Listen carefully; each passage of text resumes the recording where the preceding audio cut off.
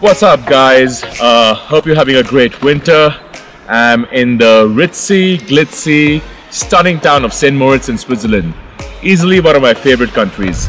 And as you can tell, I'm here for a bit of winter sports, snowboarding actually. And uh, I found this fantastic hotel that gives me easy access to the slopes. It's the Grand Hotel Kempinski, so let's just go get a room.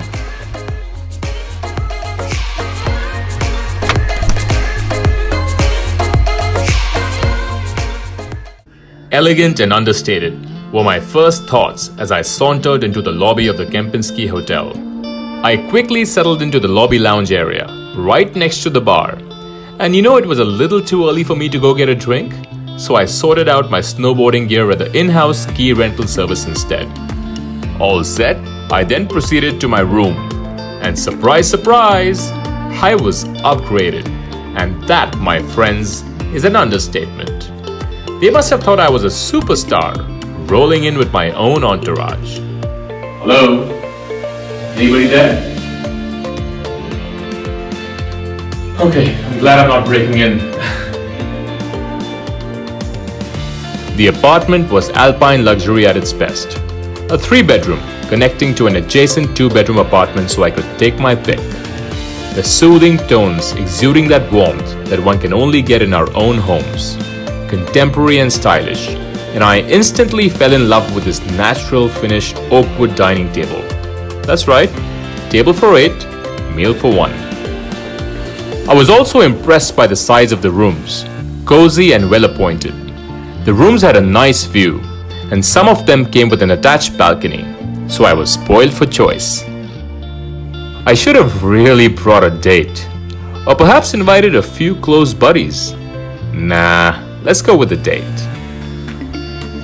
I then proceeded for a quick tour of the rest of the hotel, starting with the gym.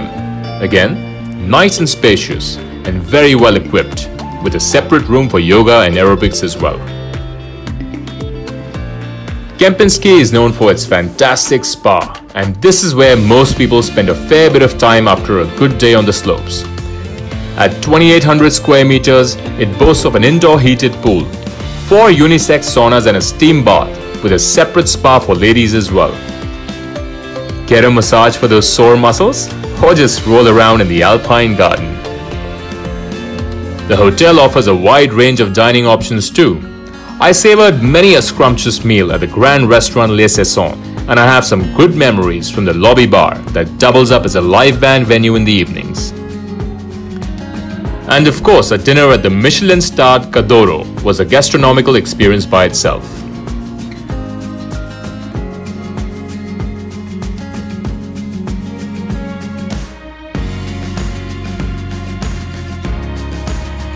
Shopaholics can rejoice.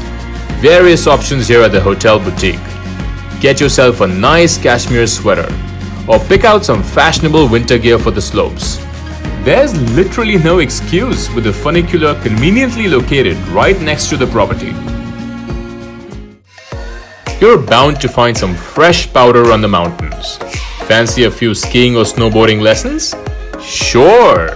Hey, if I can, so can you!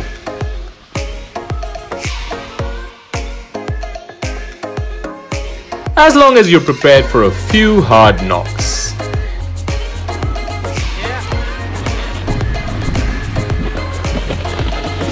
Now you know why I chose a hotel with the best spa.